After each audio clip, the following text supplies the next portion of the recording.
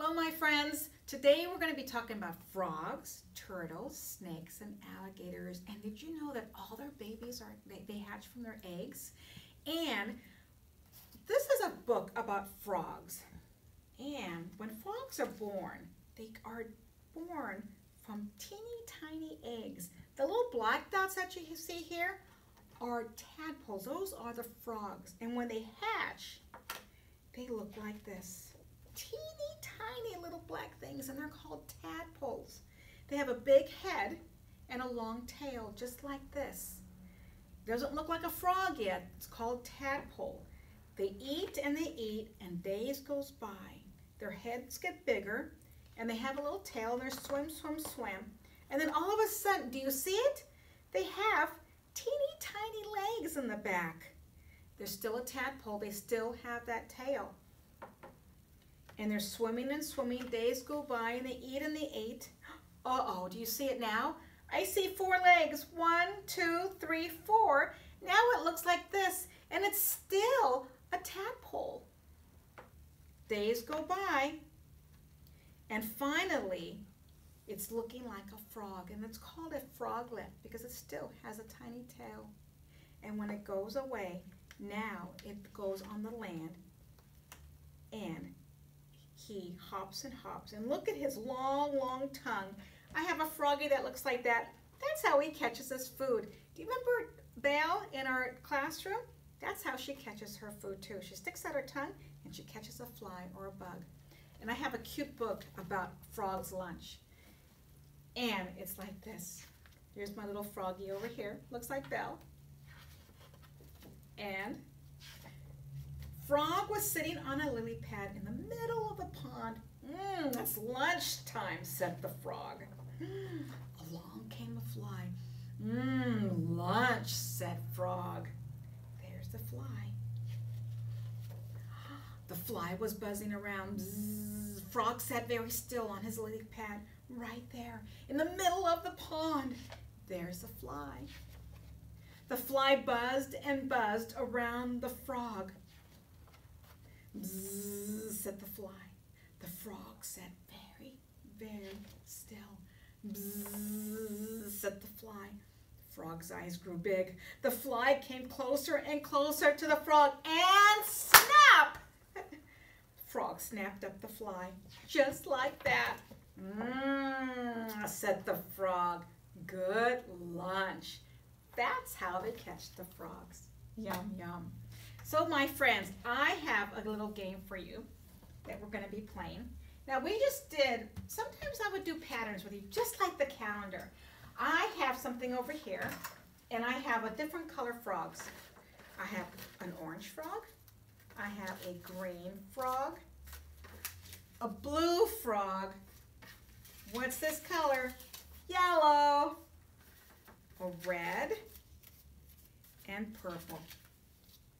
So the game is, we're going to do a pattern. I have a lot of tape over here only because they're not magnetic and it's not felt. So let's put a green frog since frogs are usually green. Green, orange,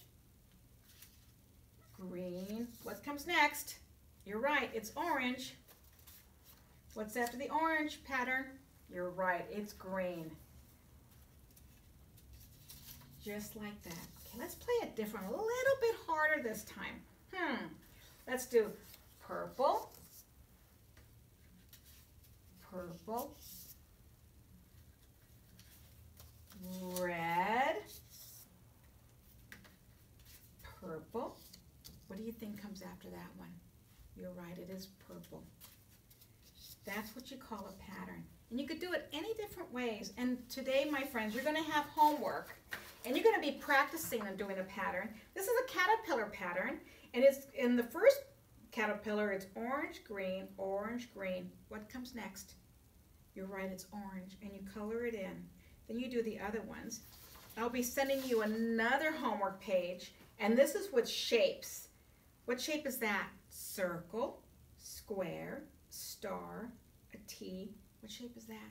A diamond and an arrow and you do the same thing with that. So that's your homework for the week. So I have an art to show you. I'm so excited about this art. we're going to do a snake. And what shape is this, my friends? You're right, it's a circle. Your mommy is going to help you by um, getting the marker. You're going to start in the middle and you're going to go around. You're going to make a little spiral just like this. Just like that. We've done this before in the classroom. And you're going to get your scissors. Don't forget, thumbs up. And you put the thumb in the small circle and the other fingers in the big ones. And you start from here and you follow that line all the way around, just like this. Go all the way around.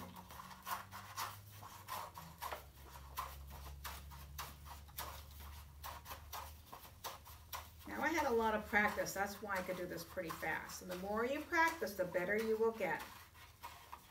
Okay, there's my snake.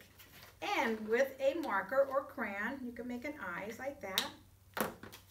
And then what do you think was missing? A tongue, you're right. So you get a color paper or you get a white paper and color it red or any color you want. And you're gonna put it just like this.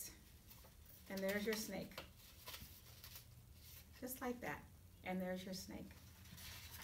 Then I have a game. Last week we talked about bugs. Well, I have a lot of bugs and I have a lot of creepy crawlers over here. This is a game that you could play. If you don't have these kind of games, I'm going to send you a paper with different kind of bugs on here. And the game is, do they hop? What crawls? What flies? And what slithers? So, hmm, I think I'm to pick up this creepy little thing here. Ugh, it's a beetle. I don't like these beetles. What do you think it does? Does it fly? No. Does it crawl? Yes, it does. You're to put it under the crawl right there. Now, I also have a praying mantis. Does it hop or does it fly? Well, you probably think it flies, but it really doesn't. It hops really far and it lands like that. So he hops over here.